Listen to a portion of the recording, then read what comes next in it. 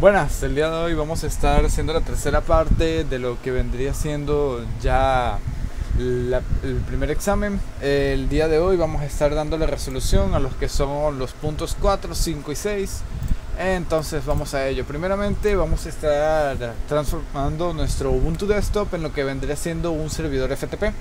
Primeramente vamos a tener que presionar Control Alt T para poder abrir la terminal. Esperamos a que abra, como pueden ver ya abrió. Venimos, entramos a nuestro usuario root con su su como de costumbre. Ingresamos nuestra contraseña.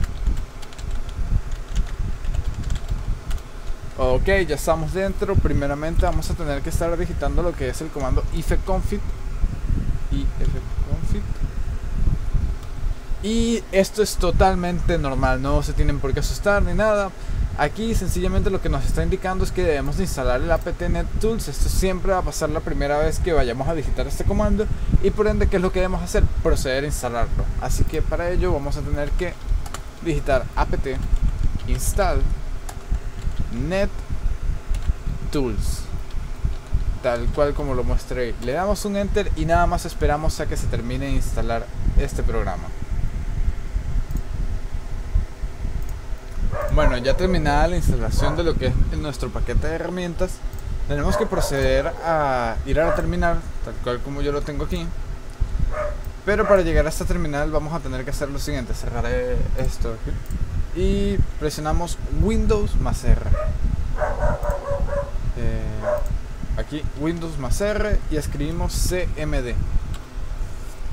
Ok, y tenemos que digitar el siguiente comando que va a ser ipconfig. Como pueden ver, esta es mi dirección IPv4 y si nos vamos a lo que viene siendo nuestra máquina virtual, ya con lo que es nuestro paquete de herramientas instalado y escribimos ifconfig, nos vamos a este primero de aquí, podemos ver que esta dirección es totalmente distinta a esta de aquí. Entonces, ¿qué vamos a hacer? Vamos a ir aquí al VirtualBox, nos vamos a ir a la parte de máquina configuración. Esperamos a que abra. Bueno, ya aquí dentro de configuración vamos a tener que irnos a la parte que dice red y el conectado a NAT lo vamos a cambiar a lo que va a ser adaptador puente.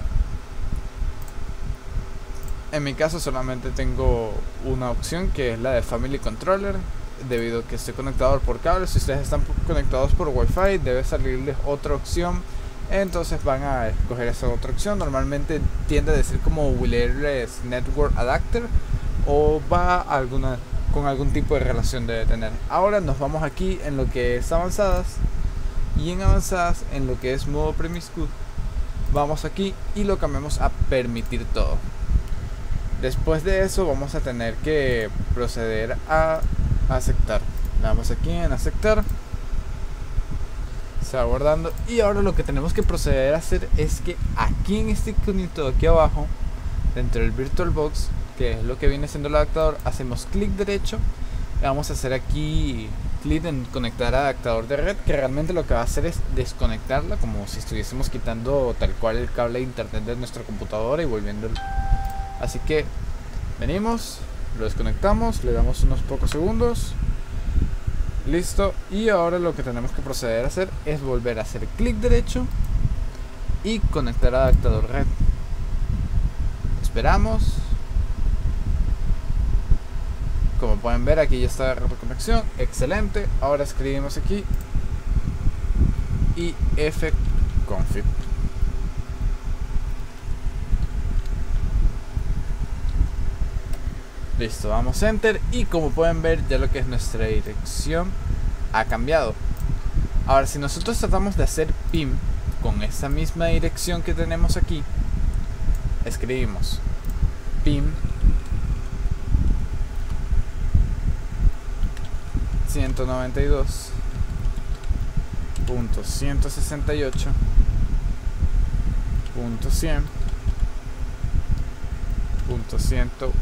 42. Como pueden ver ya está tirando un tipo de respuesta. Esto quiere decir que ya hay comunicación entre lo que vendría siendo nuestra máquina real y nuestra máquina virtual. nuestra máquina en físico para un mejor uso del término. Así que ahora lo que vamos a tener que proceder a hacer es instalar los servicios de FTP en nuestra máquina virtual. Presionamos un clear aquí primeramente. Bueno, ahora procedemos a digitar lo que es el siguiente comando, que va a ser apt get install vs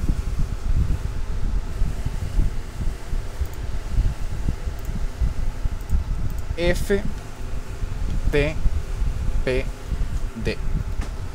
damos enter y esperamos a que se termine de instalar. Bueno ya con el proceso de instalación terminado lo que tenemos que hacer es escribir la palabra nano como ya la tenía previamente aquí escrita en lo que es la terminal. Escribimos nano.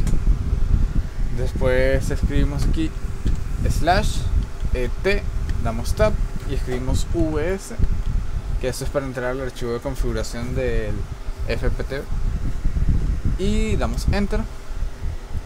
Vamos a bajar con lo que son las, las teclas de las flechitas hacia abajo hacia arriba. Y vamos a bajar. Más. Hasta llegar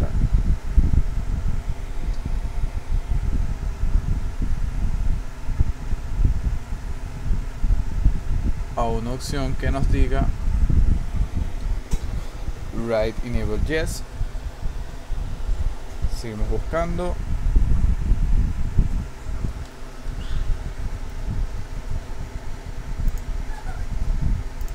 Bueno ya he encontrado como lo podemos ver aquí lo tenemos el Write Enable Yes. Subo un poco acá. Y posicionados aquí en lo que es el asterisco nos movemos una flecha hacia la derecha y presionamos una vez borrar. Lo siguiente es hacer guardar el archivo con control O. Damos enter.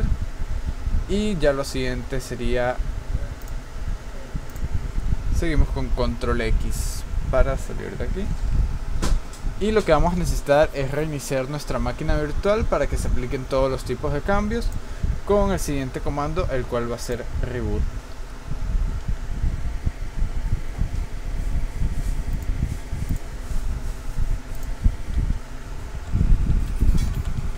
Damos enter. Nada más esperamos que se reinicie la máquina.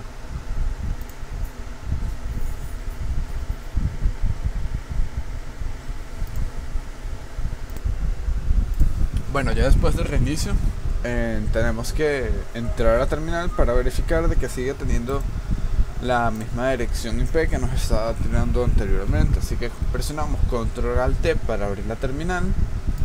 Entramos a sudo su para entrar en nuestro usuario root ingresamos nuestra contraseña.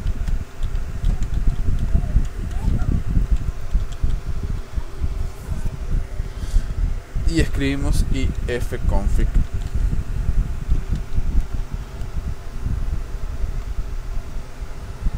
como podemos ver nos sigue tirando lo mismo ahora vamos a verificar de que sigan haciendo contacto y para ello hacemos lo siguiente ah, sigue siendo la misma dirección IP y siguen teniendo contacto excelente. Entonces esto significa que todo está excelente en estos momentos y ahora lo que vamos a tratar de hacer es desde nuestra máquina enviarle archivos a nuestra máquina virtual para que ésta las descargue a través de lo que es esta comunicación que tienen actualmente bueno, para demostrar que podemos descargar y enviar archivos a través de nuestro servidor FTP, primeramente vamos a tener que descargar un cliente FTP como lo es FileZilla. Si ustedes no lo tienen instalado en lo que son sus computadoras, sencillamente buscamos aquí en lo que viene siendo su navegador web y buscamos lo que es FileZilla en, en el navegador pueden hacer clic aquí en Don't File lo que es Don't File Sila Client porque lo que queremos es descargar el cliente, el servidor no. Bueno, ya con el file Sila descargado e instalado, hacemos lo siguiente. Aquí vamos a tener que ingresar los siguientes datos. lo que es la dirección IP,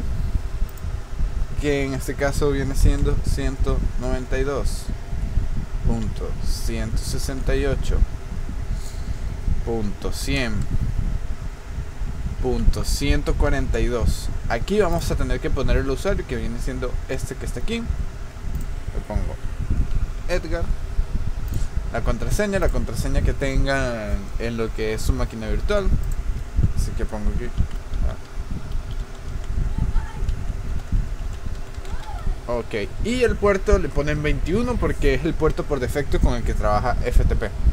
Y le damos en conexión rápida. Aquí nos dice que vamos a trabajar con una conexión FTP. Excelente. Como pueden ver, ya tenemos la conexión. ¿Qué es lo que vamos a hacer? Bueno, lo que vamos a hacer es irnos a nuestro escritorio en nuestra máquina física y vamos a hacer lo siguiente. Aquí, le damos en nuevo, le damos en un documento de texto. Esto es meramente como por ejemplo. Ok, nuevo documento de texto. A este nuevo documento de texto lo abrimos aquí lo tenemos y escribimos por ejemplo algunos archivos algunos datos personales de nosotros voy a poner mi nombre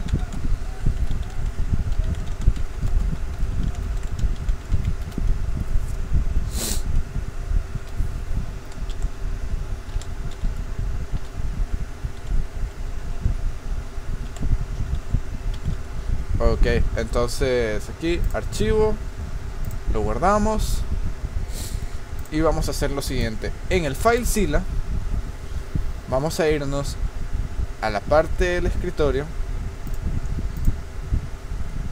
Vámonos aquí arriba, escritorio. Y como pueden ver, aquí está este archivo. Aquí en lo que es nuestra máquina virtual, igualmente, nos vamos a ir al escritorio. Aquí, como pueden ver, el escritorio está vacío. Y lo que vamos a hacer es cargar este nuevo documento de texto. Para cargar tenemos que deslizar los archivos de izquierda a derecha. Y si queremos descargar archivos en nuestra máquina física, tenemos que agarrar los archivos de lo que viene siendo nuestra máquina virtual y desplazarlos de derecha a izquierda. Ahí estaríamos descargándolos. Ahora como podemos ver tenemos el nuevo documento de texto en, en el escritorio de nuestra máquina virtual. Así que vamos a nuestra máquina virtual. Minimizamos la terminal y como podemos ver aquí está el nuevo documento de texto que hemos cargado.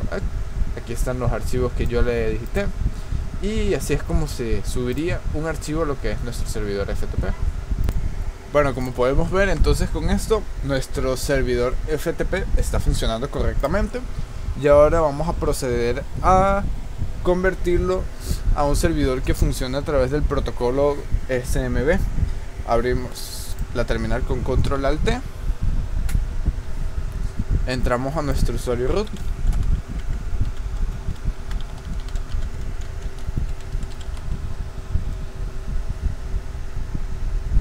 Disculpen creo que digité algún, alguna parte de mi contraseña mal. La volveré a digitar. Ok ahora sí ya estamos dentro eh, vamos a proceder a instalar la aplicación Samba la cual esta corre en modo de terminal y permite hacer uso del protocolo el protocolo SMB. Así que escribimos aquí apt get install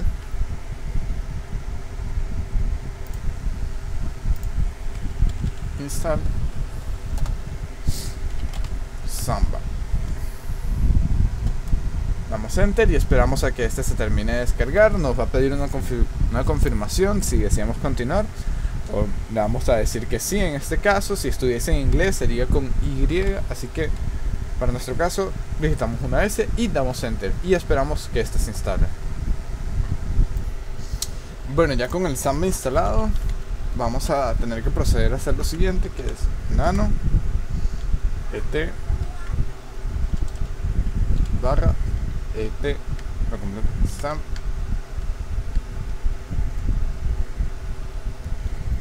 ismb.conf. Esto nos va a llevar a un archivo de configuración del Samba. Ya como pueden ver hemos logrado abrirlo. Bueno, ya con el archivo abierto lo que vamos a tener que hacer es bajar por completo. Bajamos, bajamos por completo. Hasta el final del documento. Vamos a tomar este, esta parte de aquí en donde sale printers. La vamos a copiar. Y vamos a empezar. La pegamos aquí en primer lugar. Pegar A ver, la copiamos otra vez. Pareciera que no se copió correctamente. Y la pegamos. Ok, excelente. Ahora vamos a tener que hacer los siguientes cambios. Aquí, por ejemplo, vamos a tener que... Entonces aquí en la parte de printers, al nombre del repositorio, lo vamos a estar cambiando por compartido.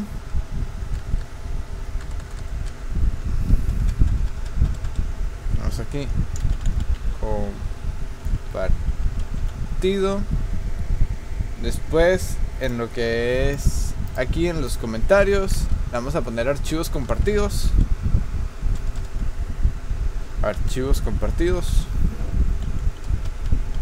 Archivos compartidos. Que sea navegable, claro que sí. Le vamos a dar yes. La dirección la vamos a cambiar aquí en vez de bar vamos a poner home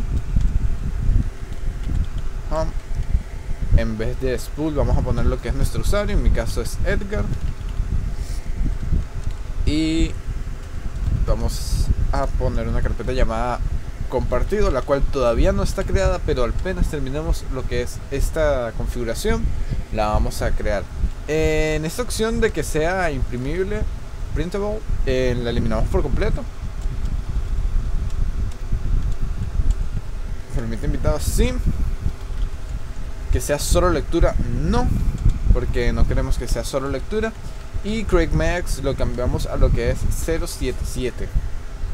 0777.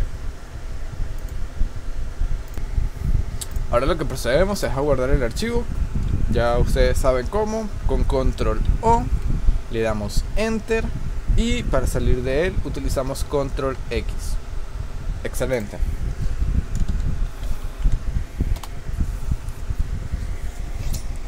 Ahora, si damos un ls, como podemos ver aquí no tenemos la carpeta compartido. ¿Qué tenemos que hacer? Crearla. La vamos a crear utilizando mkdir. Escribimos el nombre de la carpeta, el cual va a ser compartido. Le damos un enter, ls. Como podemos ver, ya estaría la carpeta compartido pero ahora tenemos que darle permisos a esta carpeta. Esto lo vamos a hacer con chmod 777 compartido slash. Damos un ls y como podemos ver ya nuestra carpeta compartido va a tener, va a tener los permisos que necesitamos. Bueno, ya con esto listo, lo que tenemos que proceder a hacer es en nuestra máquina física es ir a este equipo y aquí dentro de este equipo vamos a tener que darle a conectar a una unidad de red. Disculpenme un momento. Aquí con al 92 disculpen con al 92 no es.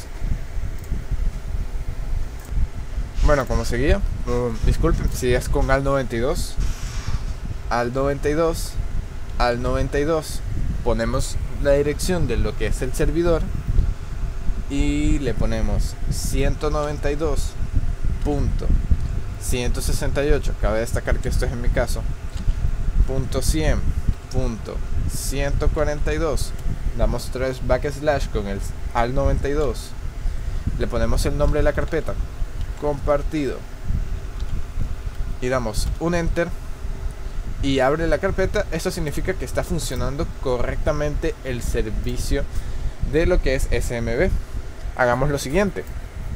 En nuestra máquina virtual, eh, primeramente damos un clic, cd compartido, entramos a lo que es compartido, si damos un ls, podemos ver que no tenemos nada en lo que es el recurso compartido, pero si aquí yo vengo y creo una nueva carpeta y digamos que esa carpeta le pongo buenas. Ok, la carpeta ya está creada como como podemos ver. Ahora, aquí damos un ls, podemos ver cómo tenemos la carpeta buenas ya en, nuestro, en nuestra carpeta compartido. Esto quiere decir que el servicio SMB está funcionando totalmente bien. Ahora vamos a proceder a lo que es la instalación del servicio del SSH, que sería la última configuración para este video y así finalizar lo que viene siendo la primera evaluación.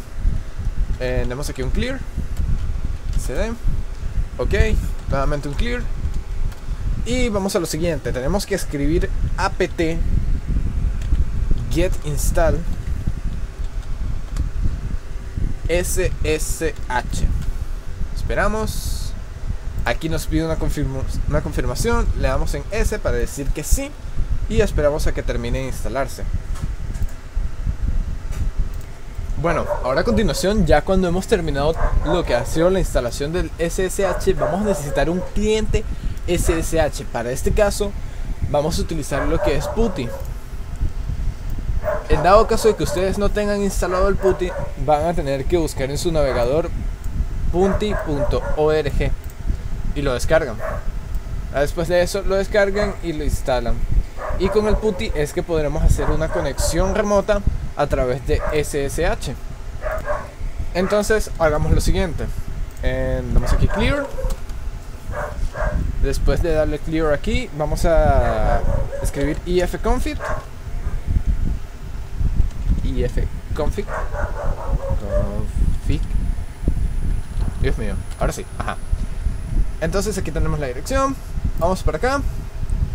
Lo dejamos aquí en SSH y le decimos que la IP es la siguiente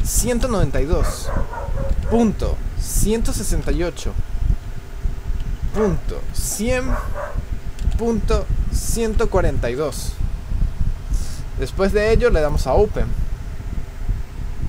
le decimos que aceptar. Y si ella nos ofrece el logueo, es que ha encontrado un servidor SSH. Es decir, los funcionamientos del servidor SSH que hemos instalado en nuestra máquina virtual están funcionando de manera excelente. Entonces hagamos lo siguiente como para hacer unas cuantas pruebas. Ponemos nuestro nombre de usuario. Ponemos nuestra contraseña.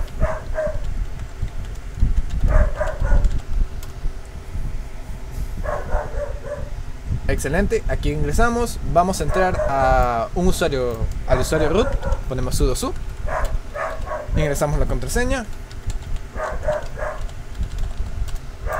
Excelente, como pueden ver ya tenemos acceso a lo que son carpetas y demás. Entonces, por ejemplo, pongamos un ls. Excelente, aquí tenemos acceso a lo que son nuestras carpetas. Por ejemplo, yo puedo venir y entonces agarrar y escribo cd compartido y Disculpen, lo he digitado, lo he digitado mal. CD compartido. Ahora sí, ya estamos dentro de la carpeta compartido. Damos un ls y podemos ver que aquí está la carpeta buenas que hemos creado con anterioridad.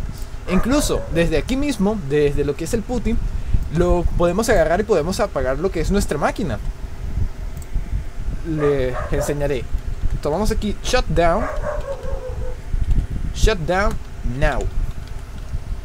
Y le damos un enter. Nos va a decir que se perdió la conexión y como pueden ver nuestra máquina virtual está apagándose esto quiere decir que lo que es nuestro servidor SSH está funcionando correctamente y ya con esto estaríamos finalizando esta serie de videos para darle resolución a lo que es nuestra primera prueba. Muchísimas gracias y que pasen un excelente día.